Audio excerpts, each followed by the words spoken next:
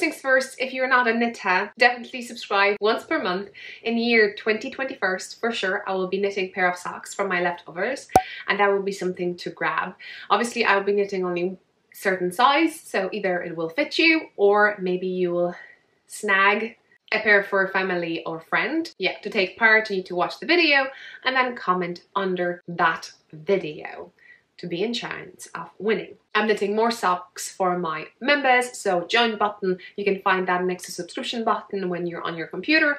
And we have level one and level two, which equivalent, I call it one coffee and two coffees. I'm knitting socks over there. At the moment in March, you have certain socks that I've knitted. In April, I also finished, but uh, for level two, I will be adding, I'll be trying to switching now because I hear that some of you are saying that you have smaller feet, some people have bigger feet, and I was also thinking that some knitters who like love knit for themselves but not really for family members could even join and I don't know, comment joined because I want to knit customized size socks. So at the moment, I'll try to switch that. So in April, I'm going to have a physical pair of socks and also uh, I will have a custom. So custom, which means I will ask you to specify the size of a sock and would you want to have color work, lace or plain vanilla. I will explain that more on the video itself. month after that, I'll try to do that for level one. Anyway, Anyway, so if you have any questions about that, leave the comment down below. And obviously there's more things that I need to go through and think through. I think it'll be really cool because then I will be able to share while I'm knitting, which I love to do on Instagram. And at the end of the day, I will be able to record finished object video like that with the socks knitted for a specific person, so winner. And I can tell you the whole story about it. And that person will want to communicate with me while I'm doing that or be awesome. Right, in regards to these socks, if you're a knitter, or maybe you want to start knitting, I'll put two links down below to the two tutorials, toe up socks. One is knitted uh, with fingering weight yarn and uh, two at a time. There's another one which I'm showing you how to start knitting one sock at a time and I call them fast and easy socks and I have a pattern, a pattern on Ravelry so if you want to see it on the paper and knit while I'm knitting it on the screen on YouTube as a beginner friendly knitting uh, kind of lesson with me, go for it. Um, that's the way I knitted these socks, although the, uh, the tutorial is for a sport weight and this is I knitted in fingering weight. And the difference is if you have ever uh, encounter a knitting pattern, like in my patterns, I'll uh, try to, I think all of my patterns have four sizes. So for 48, 56, 64 or 72 stitches circumference. So as you can see, there is a pattern by adding eight stitches to get it bigger, right?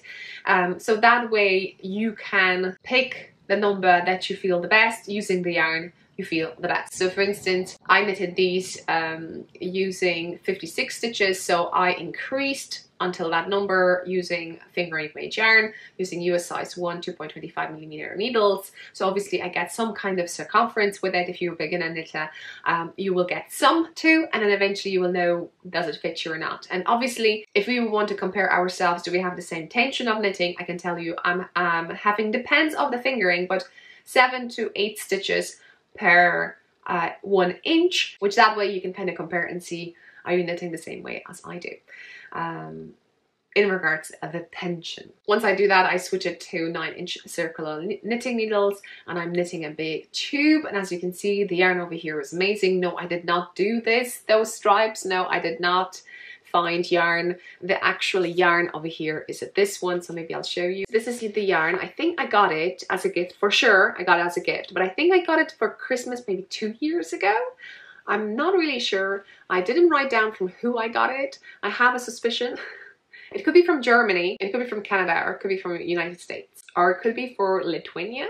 From the friends, not that the yarn actually is, I think it's from Germany, uh, although it's made in Romania, so yeah, that's what it says. And this is, oh, I don't know how to even say this. Um, so it's a sock yarn, and the color is M4770. So check it out on the screen. This is the color and it's beautiful, isn't it? So if you see similar yarn that looks like this and you would think, oh, that's not really, that's a little bit too busy for me. Well, check this out. It has such a mosaic stripes with different colors. Love it, love it so much truly.